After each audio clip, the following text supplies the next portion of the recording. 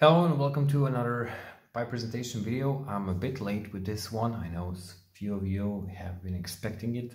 So let's show in detail this um, pipe I thought initially was a Dunhill. I still I'm 99% sure it's a Dunhill. Now, as I wrote, uh, first time I saw it, I was like, okay, it's a shelf finish Dunhill maybe some worn off stain here and there but it's a shellfish Dunhill immediately I go straight to the bottom side to read everything and to find out which year is in question. And uh, I see this. I see bottom all sanded down and scratched.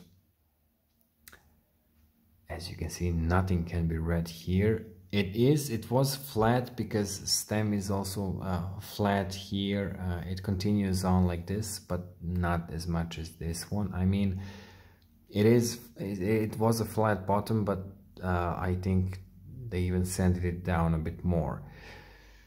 They, I'm saying they, um, I'm not sure if the previous owner did it or it was some sort of a reject.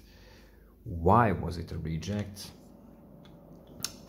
All of that remains uh, unknown to me. So, tenon, the white dot,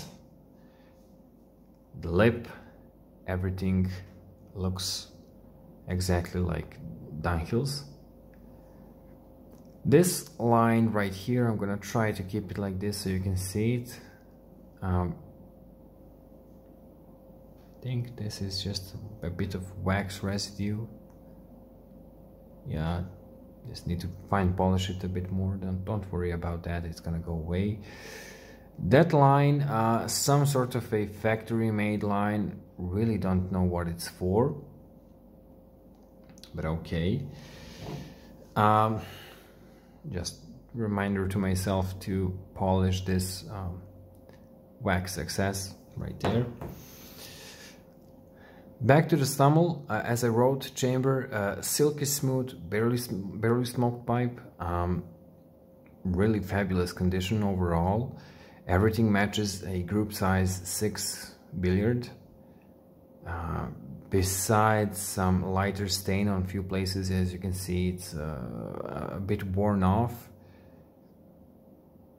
Everything mostly matches the, the, the finish and the stain you would expect from a shell uh, Dunhill but for some reason again someone sanded down the bottom side and now you know it's just a great looking billiard. I'm still pretty sure it is a Dunhill but of course price had to be significantly reduced.